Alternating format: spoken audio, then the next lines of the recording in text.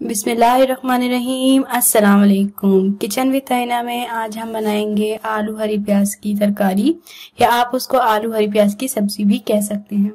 Video अच्छी लगी तो लाइक कीजिएगा, कमेंट करके हमें ज़रूर बताइएगा कि आपको हमारी रेसिपी कैसी लगी और हमारे चैनल को सब्सक्राइब कर लीजिएगा वीडियो स्टार्ट करते हैं। सबसे पहले हम पतीली में ऑयल डालेंगे। ऑयल हम तकरीबन वन कप लेंगे। उसके बाद हमने जो हरी प्याज ली है, वो तकरीबन हमने डेढ़ किलो ली है। तो उसकी जो ग्रीन वाली ग्रीन वाला पार्ट है, वो हम उसको बारीक बारीक चॉप कर लेंगे और जो उसकी प्याज है, जो ऊपर की तरफ़ वाइट उसको हम चॉप करके इसमें हल्का सा फ्राई कर लेंगे सबसे पहले। हरी प्याज नहीं डालनी हमने, जो हरी प्याज की जो ऊपर व्हाइट प्याज थी, उसको हमने बारीक चॉप करके दो मिनट के लिए फ्राई करेंगे इसमें डाल के। इसको फ्राई करने के बाद जो हमने हरी प्याज का जो हरा वाला हिस्सा है जो काट के रखा हुआ है, उसके बाद हम इसके अंदर उसको ऐड करेंगे। हरी प्याज हमने तकरीबन डेढ़ किलो ली है। सबसे पहले हमने उसकी व्हाइट वाली प्याज फ्राई कर ली, अब उसके बाद हम इसके अंदर पूरी हरी प्याज ऐड कर रहे हैं, ये देखिए। हरी प्याज ऐड करने के बाद हम इसके अंदर फ़ौरन ही इस आलू ऐड करेंगे। आलू मैंने लिए हैं दो बड़े साइज़ के। अगर आपके पास नॉर्मल साइज़ के आलू है तो आप दो से तीन भी ले सकते हैं। ये देखें मैंने दो बड़े साइज़ के आलू लिए हैं तो मैं वो इसके अंदर ऐड कर रही हूँ। आलू ऐड करने के बाद मैं इसके अंदर टमाटर ऐड करूँगी। टमाटर मैंने लिए हैं तीन मीडियम साइज़ के, उनको बारीक चॉप कर लिया है।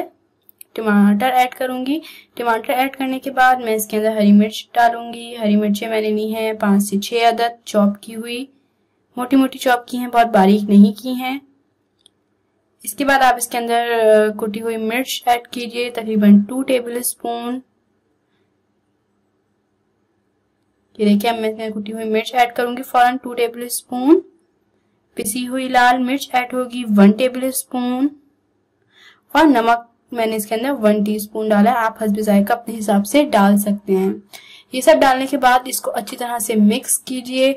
इस वक्त मेरी आँच तेज है। मिक्स करने के बाद जब आप इसको कवर करेंगे तो इसकी आँच मीडियम करेंगे और इसमें पानी नहीं ऐड होगा। ये अपना ही पानी छोड़ेगी और उसी में आलू और हरी प्याज दोनों गल जाएँगे। मतलब आलू ही गल रहे हैं, हरी प्याज तो फटाफट रेडी होने वाली चीज़ है। ये देखें, अब मैं इसको कवर कर रही हूँ।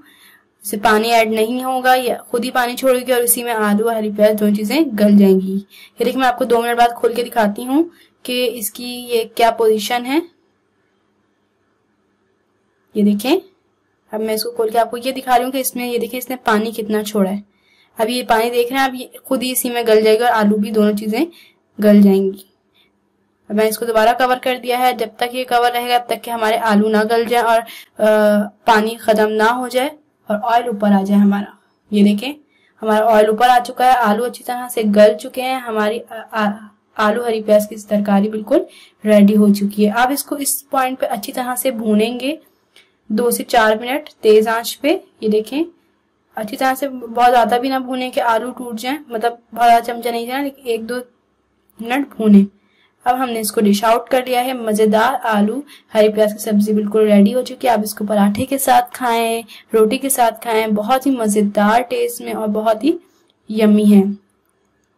वीडियो कैसी लगी आप हमें ये ज़रूर बताइएगा कि हमारी रेसिपी आपको अच्छी लगी, बुरी लगी, किस तरह की लगी ये कमेंट करके ज़रूर बताइएगा। वीडियो को ज़्यादा ज़्यादा शेयर कीजिए। किचन में तैना के नाम से आप हमें इंस्टाग्राम और फेसबुक पे भी फॉलो कर सकते हैं।